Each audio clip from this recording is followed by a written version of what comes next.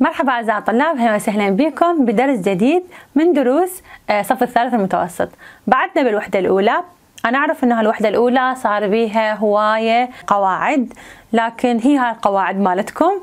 آه، أحاول أنه أقدمها بأسلوب آه، حلو يسهل فهمه أهم شيء وطريقة غير مملة. اليوم عندنا شرح موضوع مهم هو describing a continuous state معناته وصف حالة مستمرة. شوفوا أنا لما أريد أوصف حالة مستمرة راح أستخدم زمنين. هو المضارع المستمر والماضي المستمر. إذا مضارع مستمر لأن هو أصلا continuous. هو ده يقول مستمر أوكي؟ فراح أجيب مضارع مستمر وراح أجيب ماضي مستمر. أنا قسمت السبورة نصين بهذا الشكل حتى أميز لكم الفرق بيناتهن أوكي؟ خاصة بالقواعد. Present continuous. أول شيء خلينا نشوف استخداماته قبل لا ننتقل الشكل مالته. أنا استخدمه شو وقت؟ مثلا درد أعبر عن هاي اللحظة. أني دا أدرسكم. أني دا أدرسكم معناتها أني هسه دا أدرسكم. هسه هسه بهاي اللحظة هاي أني دا أدرسكم. أنتوا هسه بهاي اللحظة إيش تسوون؟ قاعد تقرون. اذا أنتم حالة مستمرة. ما واقفة الحالة لا مستمرة.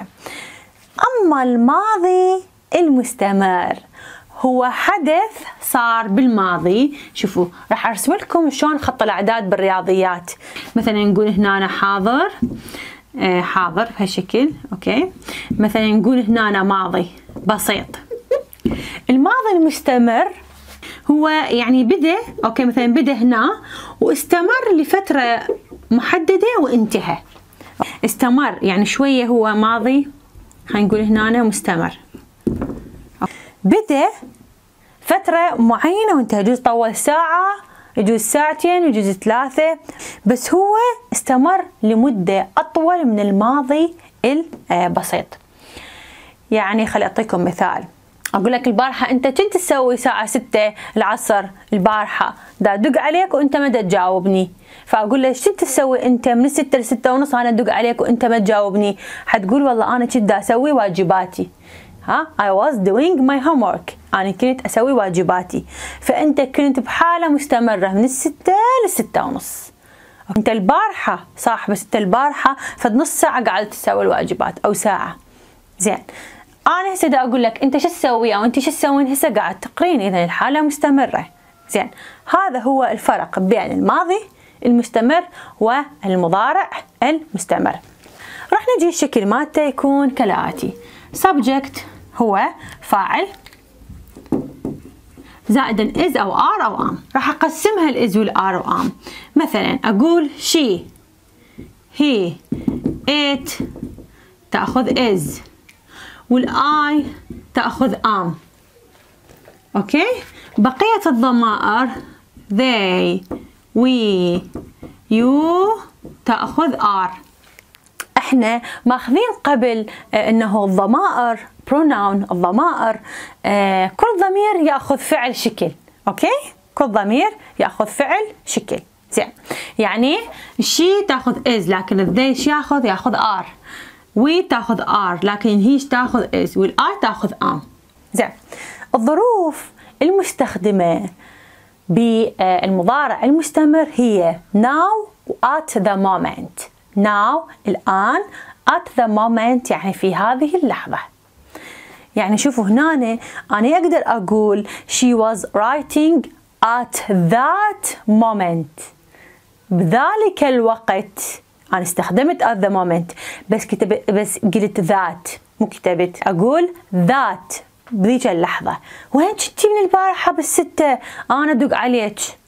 okay؟ البارحة بالستة. وين كنتي أقول I was doing my homework. بهاي اللحظات أنا كنت دا أسوي okay؟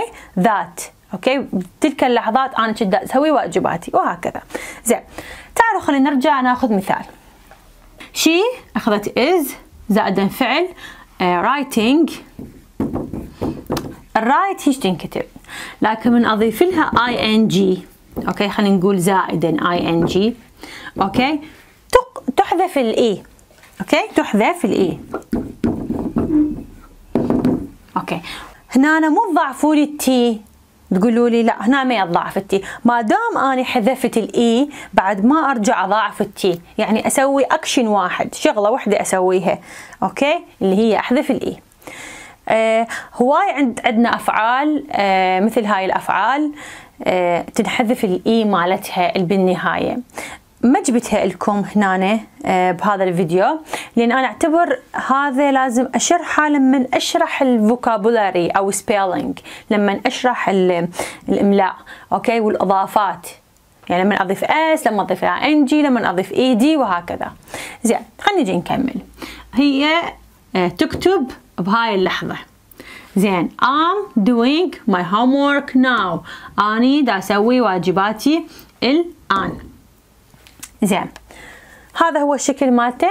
تعالوا ننتقل إلى الماضي الكونتينوس المستمر. Subject فاعل. Was أو were. شوفوا ما بها am am بالمضارع المستمر. زائدا فعل بي ing لكن خلينا نفسخها الهاي okay؟ نقول she he it تأخذ was. طبعا ال I أيضا تأخذ was they we you تأخذ were. okay؟ زين هسه نجي she was writing. هي كانت آه شنو؟ writing آه تكتب. مثلا she لا خلينا ما نأخذ she خلينا نأخذ غير pronoun ضمير. نقول they were reading. okay هم كانوا. شنو؟ Reading يقرون. فشوفوا they أخذت were زائدا ing.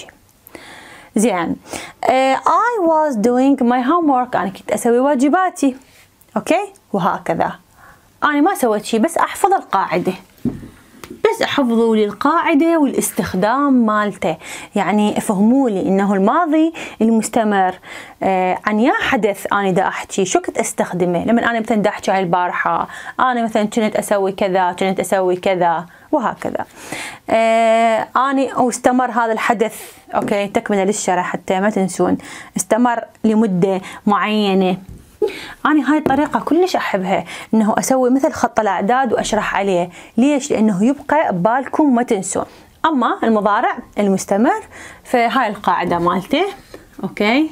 صح شوية دا أحس السبورة انملت كتابة آه لكن هنقول إحنا شرحنا كل جزء من عندها أيضا آه تحفظون القاعدة مالتها وتعرفون شو وقت أستخدمه. أني أنا دائما من أحكي حاولوا تكتبون اللي أحكيه يعني الشرح اللي أحكيه okay؟ لأن أنا أتجنب إنه هواية أكتب بالعربي آه على السبورة لأن أريدكم تبقون مهتمين ويا الإنجليزي okay؟ مو ويا العربي. زين هسه شو نسوي؟ آه خلينا نأخذ الزمنين بالنفي وبالاستفهام.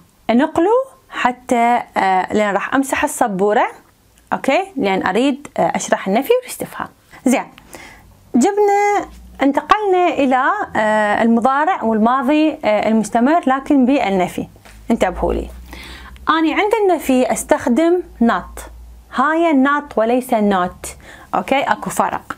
يعني not دا أقول. لكن note هي هاي ال note. ال note بمعنى مثلا أنا دا أكتب يعني معناتها ملاحظة. دا أريد أكتب okay؟ ملاحظة. أقول لكم كتبوا هاي ال note كتبوا هاي الملاحظة. زين خلونا نجي. إحنا قلنا نستخدم not عند النفي بالحالتين. زين تعالوا ناخذ مثال عليها. حجي أنفي. أنا أحط آه، النط بعد الفعل المساعد. الموجود بالجملة. هنا أيضا نحط النط بعد الفعل المساعد. الفعل المساعد شنو هو؟ was aware. أوكي؟ بالماضي المستمر.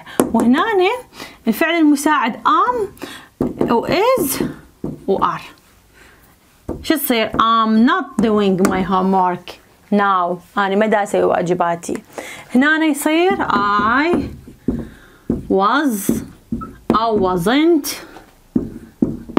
doing my homework. زين خلينا نجي أوكي؟ هسه في حالة الاستفهام. نفس المثال بس أسوي استفهام. زين راح ناخذ خلينا ناخذ مثال آخر حتى نطلع من الملل. They are looking for my birthday. هم looking for يعني شلون متحمسين. ينتظرون آه، عيد ميلادي. زين أنا هنا جملة اعتيادية ردت أسويها آه، نفي أحط ال not هنا. okay في حالة النفي حطيتها بعد الفعل المساعد. زين ما ردت نفي؟ okay مثلا ردت آه، استفهام. شو يصير؟ أقول are أجيب الفعل المساعد. okay فعل المساعد. بعدين أقول they are they looking for my birthday. هل هم متطلعين متحمسين دا ينتظرون عيد ميلادي؟ وهكذا. زين أقول هنا نفس المثال لكن بالماضي المستمر. They were looking for my birthday. هم كانوا آه مطلعين العيد ميلادي. فهنا they were. شوفوا هنا they آه are. أوكي؟ يختلف. زين؟ آه إذا اريد نفي أحط ناط هنا. وإذا أريد استفهام مجرد أني أقدم الفعل المساعد على الفاعل. يصير where they. هم كانوا for. My